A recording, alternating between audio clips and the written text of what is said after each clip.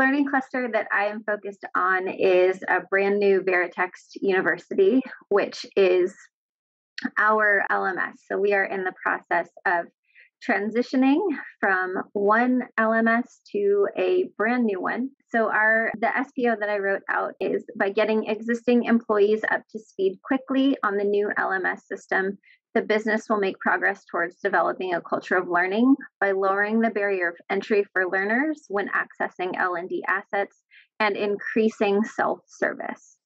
So, what that looks like for us in the workplace is that we will see a majority of the existing employees access the new system within five days of the go live date. So, getting in there quickly after we announce the shift. Learners will contact L&D less frequently regarding administrative tasks. This has been a thorn in our side for a while. And we get a lot of requests for passwords and how to access certain information. So this will be very helpful. And also learners will increase their that self-service by enrolling in and completing elective e-learning and accessing additional resources in the system. So the personas that I have up here today are Acquisition Annie, Manager Micah, and Self Starter Sandra. We are also in the process of folding in a fairly large business, and they acquisition Annie is going to be our piloting user group for this new system. They have very limited experience with our current LMS and are in the process of transferring transferring to all of our systems. So we thought this would be a good subgroup to get in there ahead of time and get some feedback on how they are how the onboarding process is for them and what we can use to make some adjustments.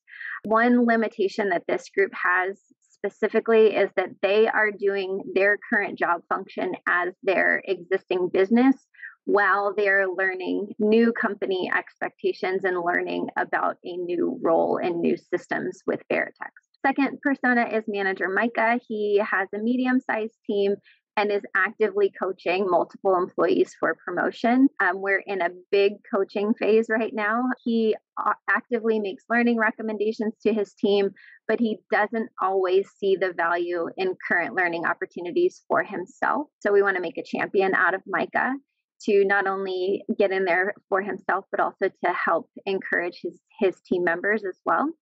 And then the last persona here is self starter Sandra. She's independent. She quickly learns new tools. She is very excited and d- dives into new learning initiatives right out of the gate.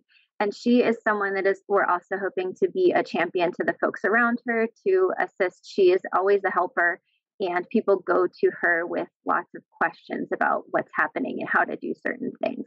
Looking at our the the learning cluster itself, um, we I took the approach to keep things minimal. We have in the in the social category, we've got a forum scavenger hunt and a game. This is something where we can do a contest and encourage managers to get their folks into the new system.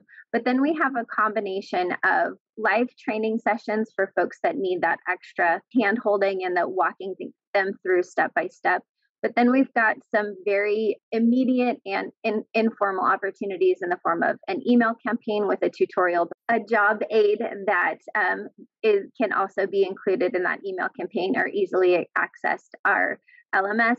And then we also have an intranet called the Hub where we can create a post about the new system, how to log in and how to access things, as well as some some videos along the way. And then there will be an e learning option as well, where you can go through the different pieces of the LMS. So, tracking success for us, we're going to be reviewing the login and activation data, surveying learners, reporting on enrollment, and we're going to look at the number of questions we get regarding passwords or other access issues reported to us.